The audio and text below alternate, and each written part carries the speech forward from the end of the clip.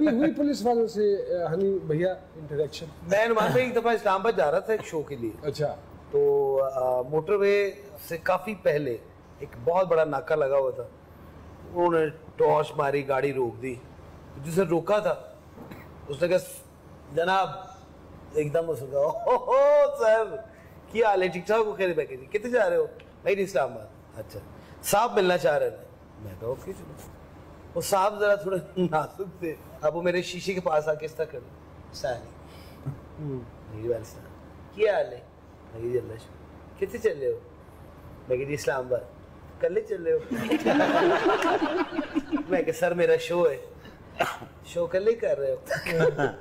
मैं कहना आज थे शो पंद्रह बीस मिनट की उनके साथ मेरी बातचीत चली।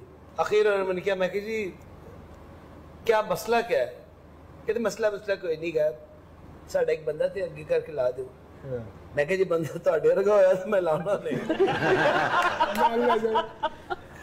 बड़ी मोहब्बत करते हैं खासकर हमारी पूरी आ, पाकिस्तान की पुलिस और खासकर पंजाब पुलिस